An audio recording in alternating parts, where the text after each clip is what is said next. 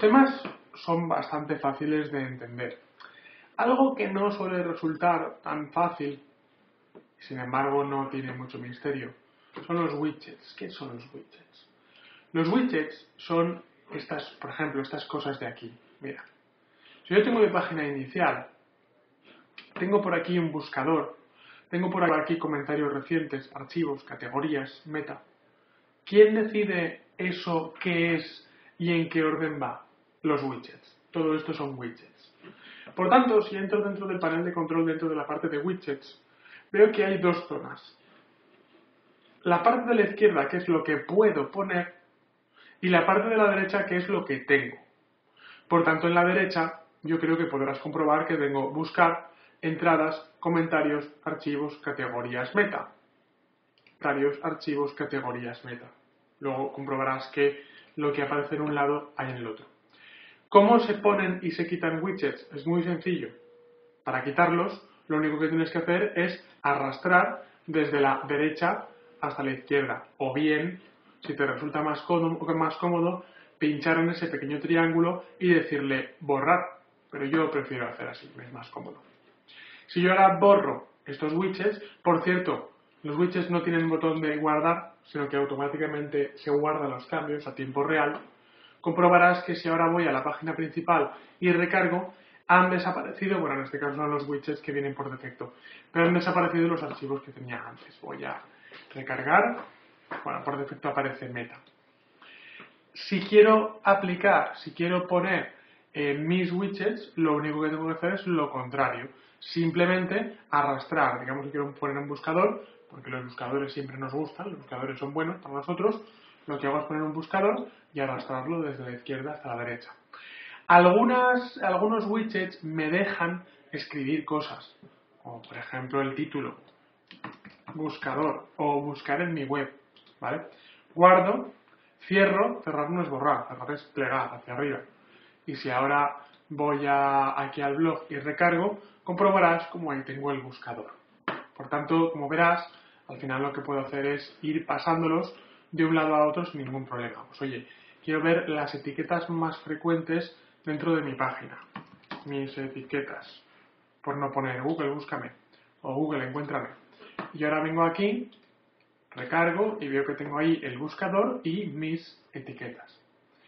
¿Qué pasa si, por lo que fuera, yo quisiera que estuvieran primero las etiquetas y luego el buscador? No pasa nada, porque realmente no tendría que borrar y volver a poner, sino simplemente pinchando y arrastrando puedo cambiar el orden de las cosas. Fíjate que cada vez que hago algo hay una cosita ahí que da vueltas.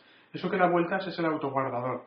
Entonces, simplemente me tengo que esperar a que el autoguardador acabe de guardar, que tarda unos pocos segundos como mucho, y si ahora recargo, fíjate, nube de etiquetas y buscador, por tanto, si ahora recargo te darás cuenta como ahora tengo primero nube de etiquetas y luego el buscador. Bien, no tienen mucho, mucho más misterio los widgets, simplemente decirte que además eh, puede haber widgets en el pie. En este tema, los widgets van por tema, en ese tema hay cinco posiciones posibles de los widgets, que es en la barra lateral, en la barra lateral en, el escaparate, ahora veremos escaparate, eh, en el área 1, 2 y 3 del pie. Por ejemplo, en el área 1 del pie no hay nada, pero si yo pongo un buscador en el pie, pongo busca pie pues me vengo, no hay ningún buscador por aquí abajo, ¿verdad? Pero ahora yo recargo y comprobaré como ahora hay un buscapié en el pie. No está en los widgets, está en el pie. Ojo también, yo te lo digo, eh, depende del tema que hayas elegido, puede haber X zonas para widgets. Por tanto, en este caso hay 5 zonas porque he elegido este widget, he elegido este tema particular. Para mí merece mención especial un widget que se llama texto. Y merece mención especial porque me permite escribir lo que me dé la gana, así lo rápido. Entonces, eh, todos estos hacen cosas, hacen, ponen archivos, nuevas etiquetas, buscar, pero no hay ninguno que me permita escribir lo que yo quiera, el texto que yo quiera. Pues este es el que, el que lo hace y de hecho no viene por defecto y en mi caso, en mi opinión, debería venir. Eh, porque si yo vengo aquí y lo pongo arriba, me permite poner un título, hola, y digo, yo soy José Vicente y este es mi blog y os doy la bienvenida. Guardo. Cierro para que no se vea tanto. Y si ahora recargo, comprobarás cómo pone este, esta caja, este widget de texto aleatorio y luego mis etiquetas y luego el buscador. Así que, si quieres, es el widget más tonto, pero para mí es el más importante, porque es el que más libertad me permite, porque me permite poner lo que quiera donde quiera. Sin ir más lejos, sin ir más lejos, si entro en mi blog,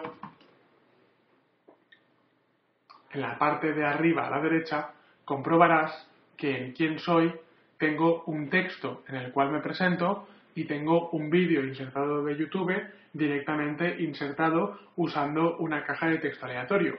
A lo cual tú dirás, eh, para, esto no es un texto aleatorio, esto es un vídeo de YouTube. Sí, pero es lo mismo. ¿Por qué? Porque lo que yo he hecho es lo siguiente.